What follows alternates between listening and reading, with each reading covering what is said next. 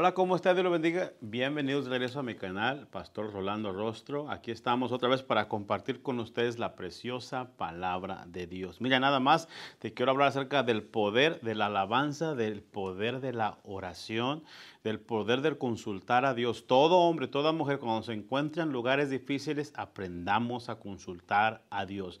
Bien importante, porque mucha gente consulta a todo mundo, pero no consultan a Dios. Ya tenemos al Espíritu Santo, ya no tenemos que estar adivinando. Los brujos usan adivinación, los hijos de Dios usan, usan la profecía, usan la palabra de Dios para que Dios hable a nuestra vida. Y Dios tiene varias maneras que te habla a ti y a mí, pero una de ellas es que nosotros al ganar batallas hay que responder con alabanza y con adoración. Estoy en Segunda de Crónicas capítulo 29 y la historia es de Josafat, un rey, que él, este rey estaba caminando con Dios, buscando a Dios, y de repente se levantan los, de Moab y los de Amón contra ellos. Todos vinieron a pelear contra Josafat. Se le juntaron. Estaba en promedio de 100 contra 1. Era grande el ejército, era grande la batalla y Josafat se puso nervioso. ¿Nunca te ha pasado, nunca te ha pasado a ti esto? que te encuentras después en tantas dificultades que no sabes qué hacer, no sabes cómo hacerle y estás nervioso y todo se pone en contra de ti. Hay un montón de cosas que se unieron para venir en contra de tu persona. De repente empieza a pasar esto con tu carro, con tu familia, con tus hijos y se levanta el enemigo contra la vida tuya. ¿Para qué? para oprimirte, para destruirte. Pero hay una cosa que se tiene que hacer. Josafat como rey, como cabeza del pueblo de Dios, dice, dice que él tuvo temor. Primera cosa, el temor, escucha esto, el temor solamente es bueno si te encamina a Dios. El temor siempre es malo si te aleja de la voluntad de Dios. ¿sí? Hay veces que el temor viene a paralizarnos de tal manera que ya no, ya no sabemos qué hacer y nos vamos al mundo, nos vamos a la depresión, nos vamos al, licor, nos vamos al suicidio y hay tanta gente que reacciona bajo gran presión, bajo, bajo gran temor en cosas malas. Pero quiero decirte que Dios tiene una respuesta muy diferente a lo que el mundo te presenta. Dice Él, búscame a mí. Si el temor que tienes te conduce a Dios, ese es un buen temor, porque el temor de Dios es el temor a hacia él. Hermano, hermana, Josafat tuvo gran temor, dice en el versículo 3 de 2 de Crónicas 20. Dice, se humilló su rostro para consultar a Jehová e hizo pregonar ayuno a toda Judá. Las tres cosas. Fue a Dios, se humilló, es importante caminar con humildad y ayunó. Y puso a todos a ayunar. Hermano, hermana, no luche solo. ¿Sabe que mucha gente le da el COVID o le da algún problema y no quiere que nadie sepa? Hermanos, escúchame. No tienes que decirle a todo el mundo ni publicarlo por todo Facebook, pero sí es importante que sepan los que saben orar, los que les gusta. Pueblo de Dios, únase y no se esconda en su sufrimiento, sino lo expóngalo a gente de Dios para que ore por usted. Ni su iglesia sabe. Hay, hay gente que se molesta porque el pastor no los visitó cuando estaban enfermos, pero ni siquiera le avisaron. La Biblia dice en Santiago que es responsabilidad del que está enfermo que avise. Lo que es Santiago capítulo 5, justo voy a predicar una serie en enero acerca de todo el libro de Santiago. Y dice que es, es, responsabilidad del enfermo que avise que está enfermo para que se le visite, para que se ore por él y así. Entonces, hermanos, no nos escondamos más sobre los problemas que estás viviendo, no andes este, en la oscuridad sobre esas cosas que te están afectando, si estás enfermo, si te sientes mal. Vamos a ir con gente que ora, gente que sabe consultar a Dios y ayunen. No le digas a la gente que ayunen por ti, diga a la gente que ayunen contigo. No le digas a la gente que oren por ti, di a la gente que oren contigo. Porque a veces les damos la responsabilidad a otros hombres o mujeres de Dios para que lo hagan todo por uno. No, hermanos, esa es falta de responsabilidad. Dígale a la gente, quiero que ayunes conmigo, no quiero que ayunes por mí, quiero, quiero que ores conmigo, no quiero que solamente ores por mí. Hermanos, es tiempo de que nos unamos en oración y ayuno con la gente, pero participando con ellos. Cuando me dicen, pastor, ¿puedo orar por mí? Me encanta orar por la gente, pero también me gusta escuchar, pastor, sigue orando por mí, este, sigue orando conmigo por mi familia, sigue orando conmigo por mi trabajo, sigue orando conmigo por, por mi salud. Y así nos unimos. Esa unidad de oración tiene un gran poder. Josafat eso hizo, se humilló, Bajó su rostro en ti y dijo, Señor, aquí te estoy buscando, pero también dice la palabra que ayunó. Es importante buscar ayuno, buscar pueblo, buscar gente de Dios que ayune, que ore contigo, especialmente en esos tiempos de dificultad. Entonces empiezan a ayunar, empiezan a buscar a Dios y sabes, siempre que tú hagas eso, Dios te da la respuesta. Siempre que tú dices, voy a buscar a Dios, Dios te da la respuesta. Y se levanta un profeta y empieza a decir a todo el mundo. Y este profeta se llama Hazael, hijo de Zacarías, hijo, hijo de Geel, hijo de, Matías. Dice, levita de los hijos de Zafat, sobre el cual vino el Espíritu de Jehová en medio de la reunión y dijo, oír Judá todo. Y vosotros, moradores de Jerusalén, tú, oh rey Josafat, Jehová os dice así, no temas ni os amentréis contra esta multitud tan grande, porque no es vuestra la guerra, sino la de Dios. Quiero darte buenas noticias. Todo lo que tú estás pasando, si tú buscas de Dios, Él se va a encargar de ahora tomar el control y la posición tuya.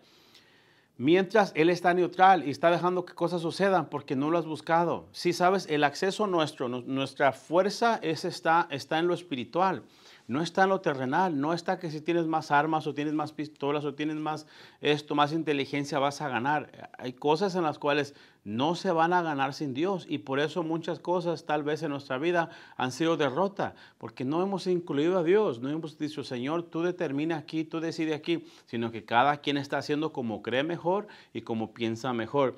Cuando oramos a Dios, le abrimos, el cielo a nuestra vida. Cuando oramos a Dios, abrimos entonces el rostro de Dios hacia nuestro favor. Entonces causamos que el cielo mismo se interese por nuestra causa, causamos que el cielo mismo venga y haga justicia, causamos que el cielo mismo voltee y, y mire lo que estamos viviendo y pasando, porque ha habido clamor, ha habido ayuno, ha habido búsqueda de Dios aquí en la tierra. Sí, aquí en la tierra es la llave, es lo que le da acceso en el cielo. ¿Por qué? Porque cuando en el cielo se decide, entonces ya todo quedó este, determinado. ¿sí? Los decretos no se hacen en la tierra, se declaran en la tierra, pero los decretos se hacen en el cielo. Lo que nosotros pedimos no viene la sanidad aquí en la tierra a darse, este, sino que viene del cielo para la tierra. Todo lo que sucede en la tierra ya es noticia segunda porque ya se decretó, ya se estableció en el cielo como algo que va a ser así y sea algo que siempre se va a mover de esa manera. ¿Sí? Cuando podemos nosotros accesar el cielo para que entonces el cielo se abra, el Dios voltee su rostro hacia nuestra situación y condición,